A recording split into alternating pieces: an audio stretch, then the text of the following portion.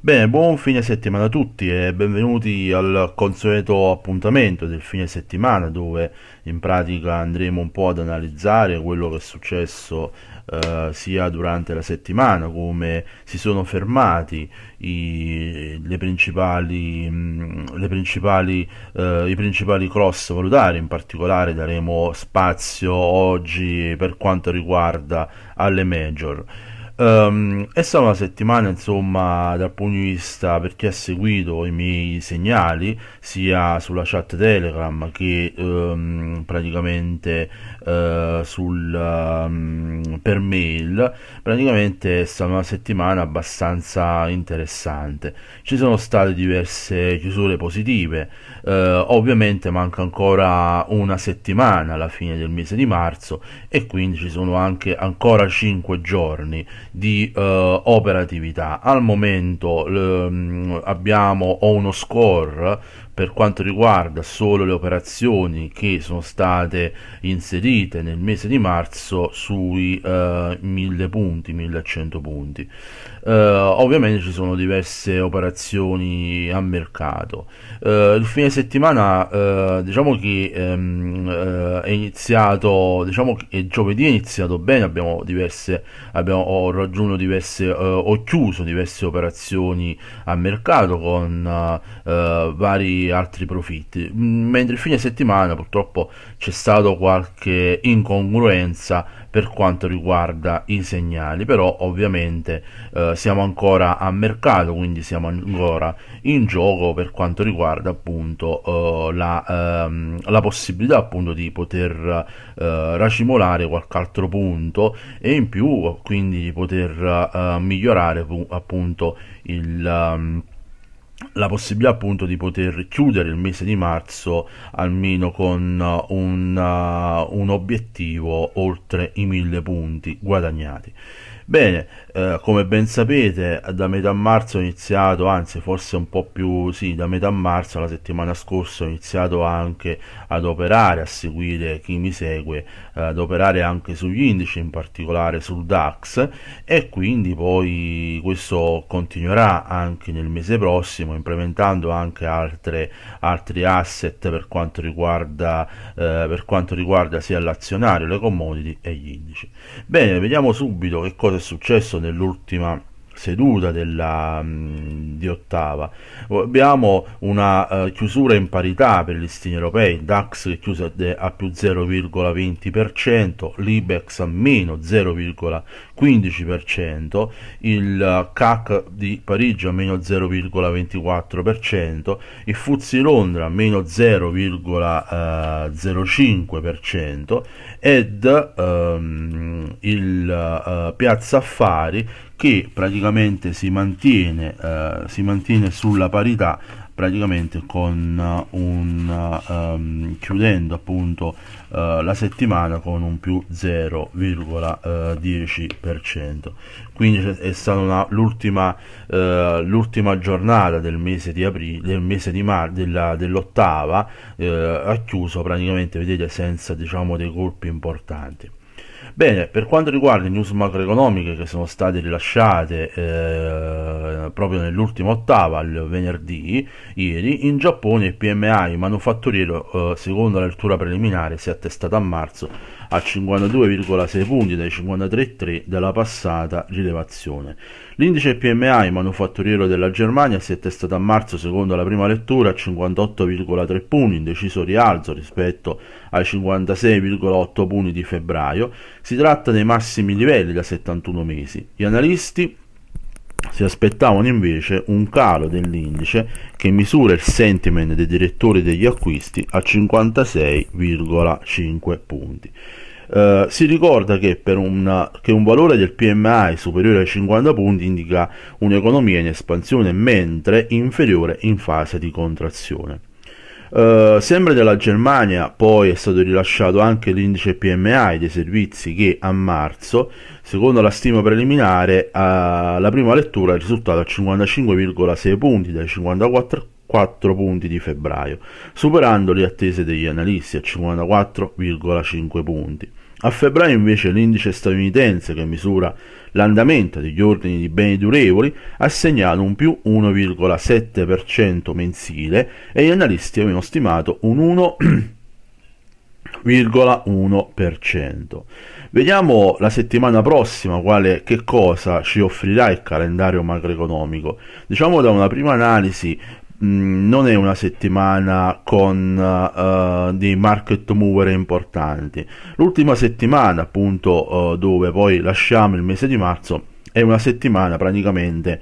abbastanza tranquilla. Non ci sono, c'è qualche indicatore macroeconomico, però praticamente non come le scorse settimane che abbiamo avuto una settimana addirittura che praticamente ci sono state addirittura nel ter- nel, nello stesso giorno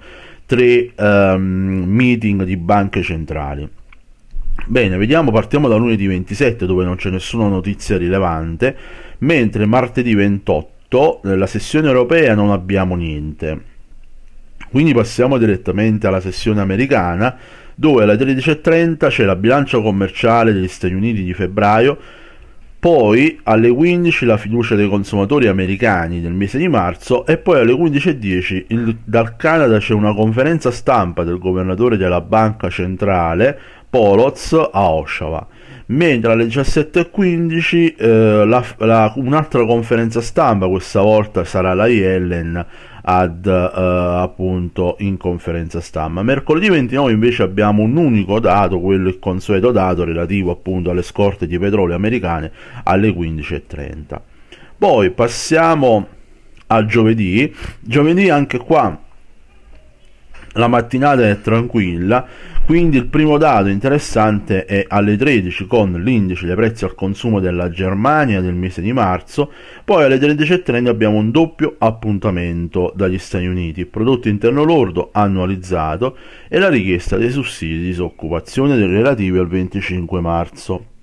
Poi eh, venerdì 31, quindi chiudiamo il mese di marzo, con mezz- alla mezzanotte e 30 dal Giappone tasso di disoccupazione e indice dei prezzi al consumo di febbraio, alle ore 2 l'indice PMI manufatturiero di marzo. Ed alle 8.55 dalla zona euro la variazione dell'occupazione e tasso di disoccupazione della Germania, alle 9.30 dalla Gran Bretagna il prodotto interno lordo, alle 10 dalla zona euro l'indice core dei prezzi al consumo e alle 13.30 dal Canada il prodotto interno lordo del mese di gennaio.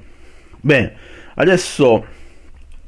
passiamo ad uh, guardare quindi uh, questi sono i miei contatti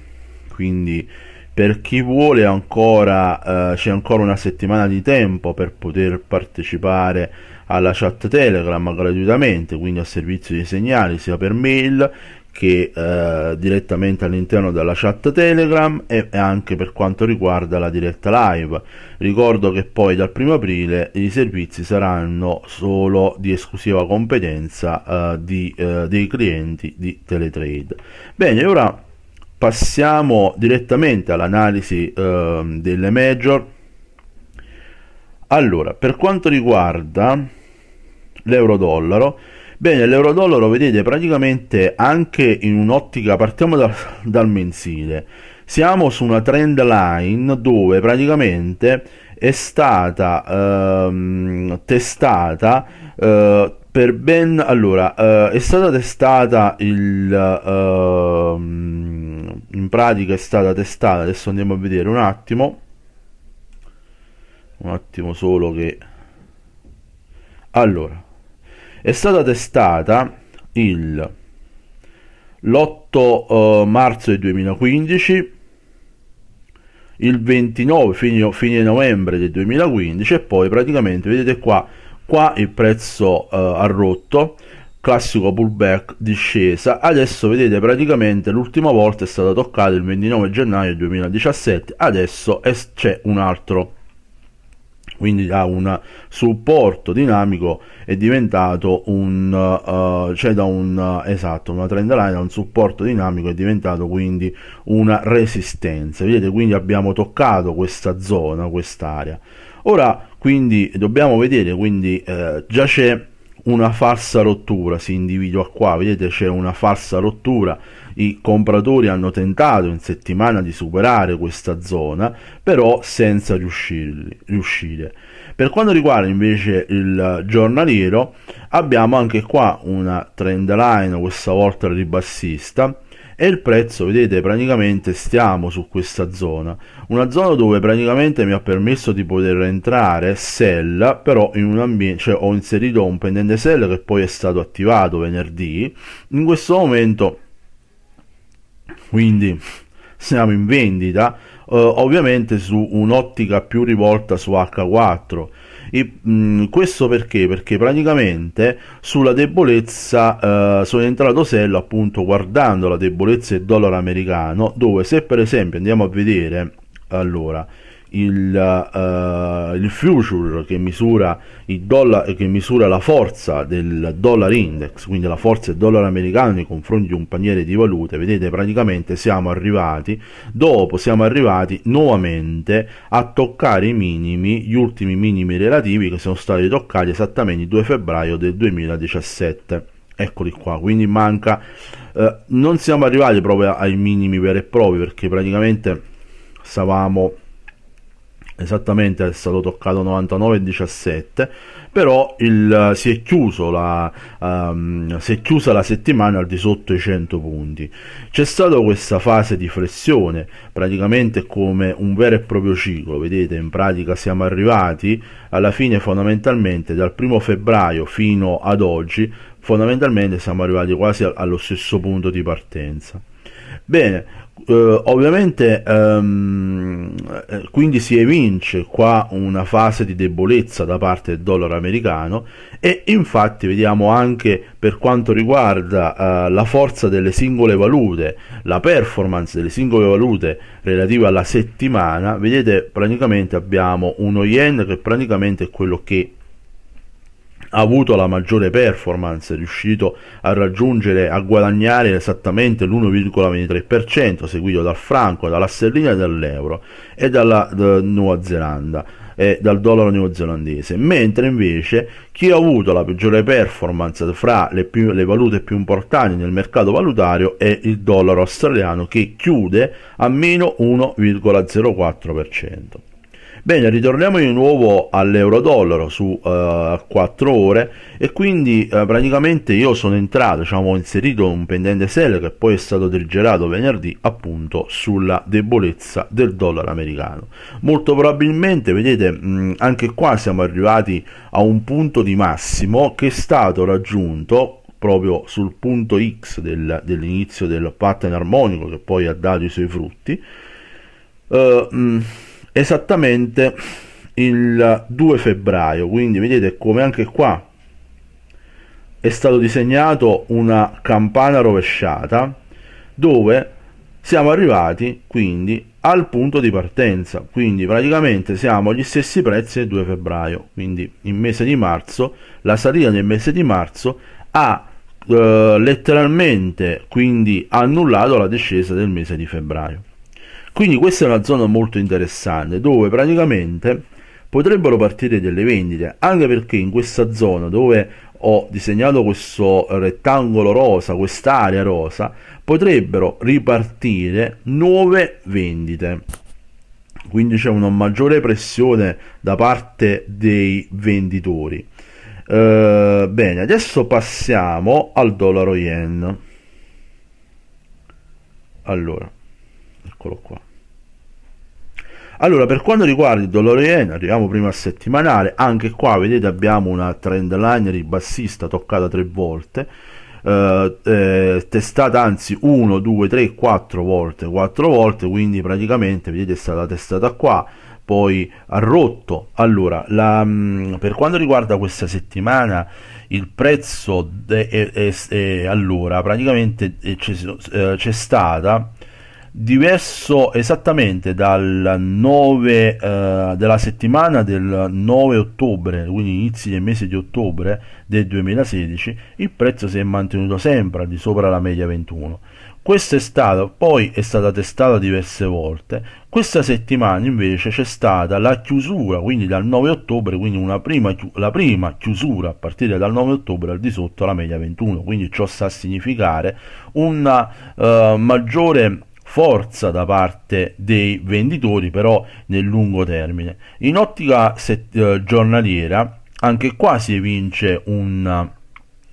un, un, un, passaggio al di sotto la media 21, vedete praticamente una chiusura, una chiusura sotto 113.02 e un retest a 113.34, quindi che poi è stato risentito e poi c'è stato questo, questa fase in cui il, dalle shadow si evince che il movimento ribassista iniziato proprio su questi minimi, in pratica qua sembra che eh, ha tirato un po' un sospiro di sollievo. Se passiamo su H4 invece, praticamente infatti questo sospiro di sollievo potrebbe riportare una prima fase di correzione del movimento di questo movimento short. ecco perché ho inserito un pendente buy stop che ovviamente non è stato ancora triggerato. Il pendente buy stop è stato inserito anche per, grazie anche alle indicazioni della, mh, mm, di questa bullish shark in, uh, sul time frame a H4 dove praticamente si evidenzia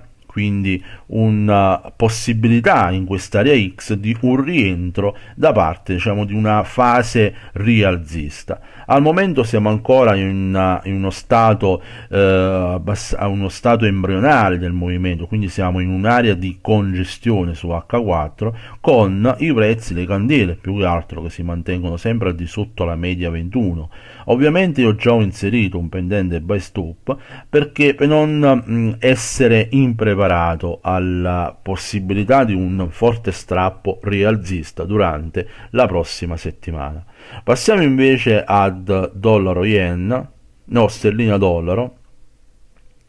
Allora, per quanto riguarda invece la sterlina dollaro, allora qui questa è un'area che eh, un'area di, mm, es, mm, un'area di un minimo assoluto, vedete qui si allarga un po' più il grafico, sto analizzando eh, dopo questo forte movimento short si è formata un test spalla rovesciato, questa è la neckline disegnata in giallo, anche se fondamentalmente vedete c'è questa uh, situazione dove uh, praticamente vedete è ancora siamo ancora sotto la neckline, quindi in pratica non è stato ancora ehm, la, cioè non è stata ancora rotta la neckline. Fondamentalmente però già ci sono i primi segnali di un possibile movimento rialzista. Questo però in ottica settimanale. Mentre in ottica giornaliera ehm, in un'ottica giornaliera eh, io eh, sul, eh, ho inserito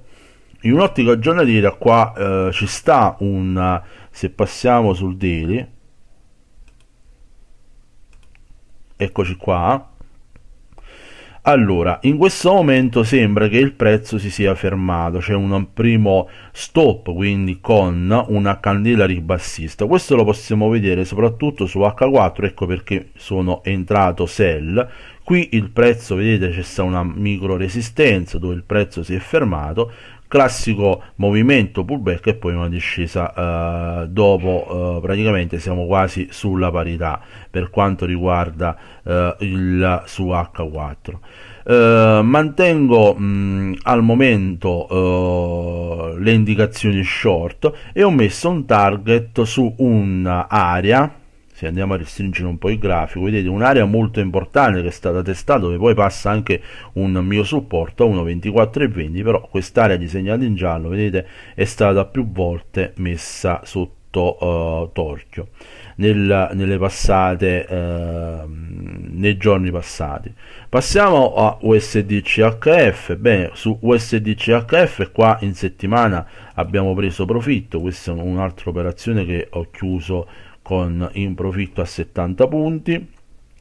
Su settimanale al momento vedete c'è una trend line che si mantiene che mantiene i prezzi al di sopra anche se eh, abbiamo una situazione dove eh, anche qua abbiamo una chiusura confermata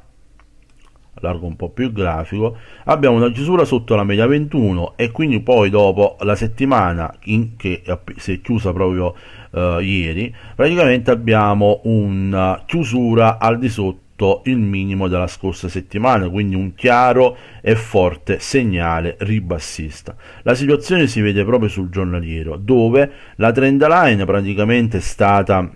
eh, rotta, ritestata e poi il prezzo è sceso giù ad, è attestato in questo momento il livello 0,98 e 92. Fondamentalmente per quanto riguarda questa situazione abbiamo in questo momento abbiamo ancora la possibilità di poter rientrare nuovamente in vendita perché da quest'area di massimi praticamente c'è una